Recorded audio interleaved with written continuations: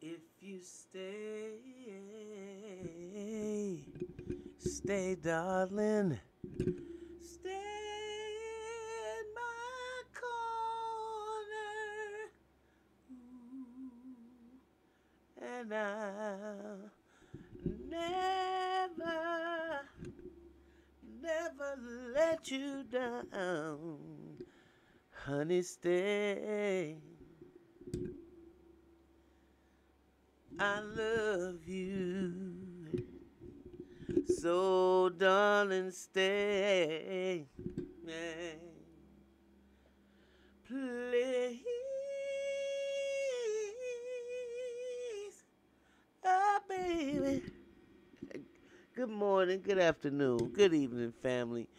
Welcome, welcome, welcome to the Mental House with me, your host, Khadijah.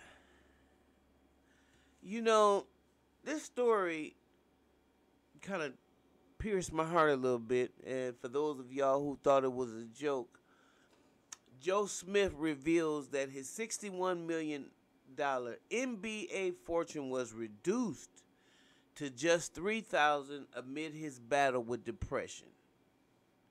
As he opens up on hard times weeks after going viral for his wife's OnlyFans reveal.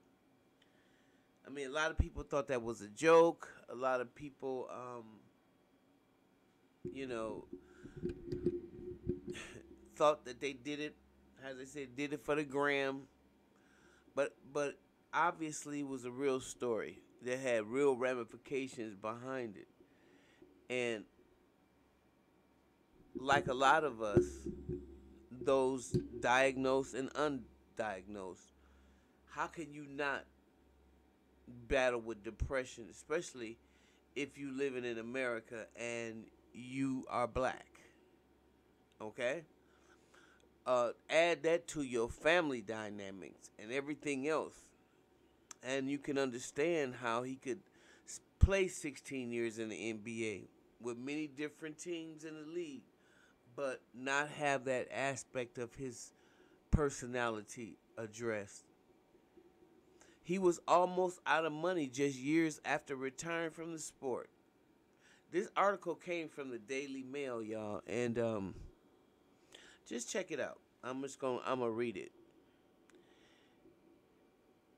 Ex NBA player Joe Smith has revealed his fortune dwindled down to as little as $3,000 in 2018 after making 61 million throughout his lengthy NBA career.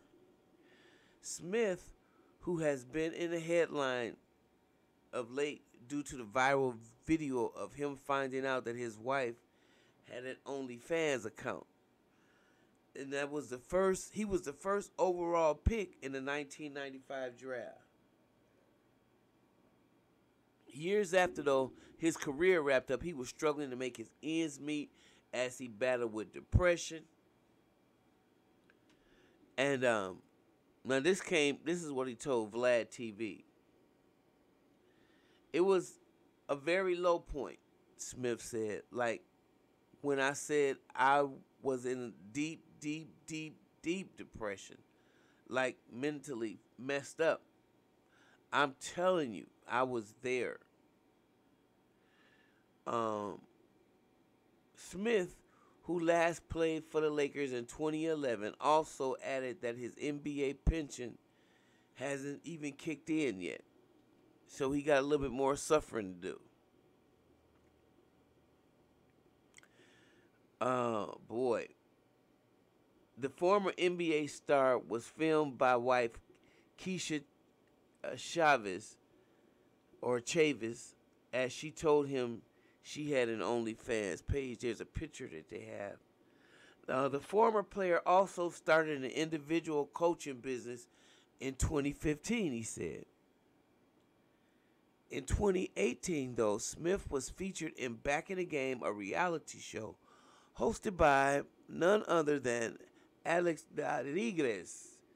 And um, while Smith said he doesn't regret doing appearing on the program, he thought it would have a greater impact on his life than it did. But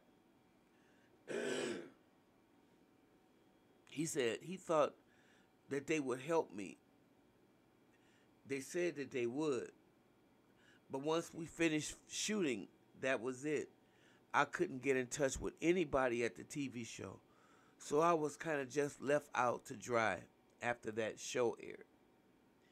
In the same interview, Smith insisted that the video of him finding out his wife, Keisha, um, went back into the X rated business via OnlyFans. He said he was genuinely hurt and it wasn't a stunt.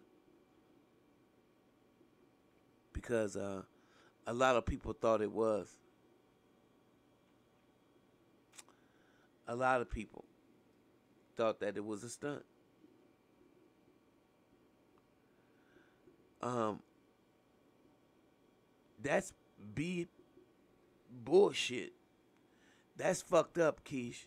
He is her saying, I can't believe I'm sitting here just finding out that you have an OnlyFans page after all these years. Wow. Speaking with Vlad after that vi- uh, viral moment, he said, We don't understand the type of influence that we have around the world. You know, I haven't been in the media in a long time. And to be in for that, it was horrible. So, let me see.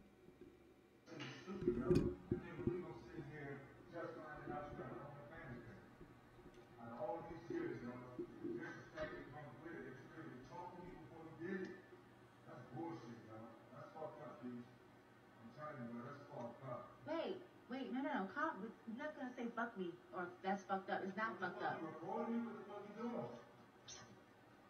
Listen, it's not fucked up, and we're going to. Okay, look. So I have an OnlyFans page, and he's mad because he's just now finding out about it.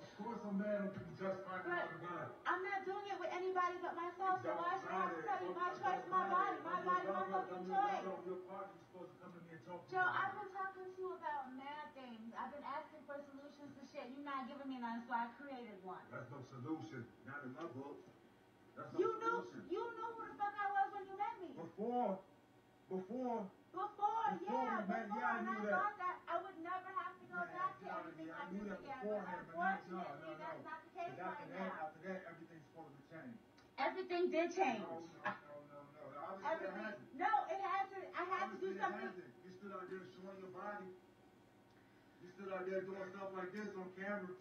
You act like that's the only thing that I do. I have mad jobs, but they're not facilitating everything that needs to be done. So I got something extra. OnlyFans be breaking me off. What the fuck? Come on, Keisha. It don't matter what they breaking you off. It's the disrespect that comes with it. What You disrespect? You couldn't come and talk to me about it. Okay, well we're talking about it now. You had So, to find out on the fly.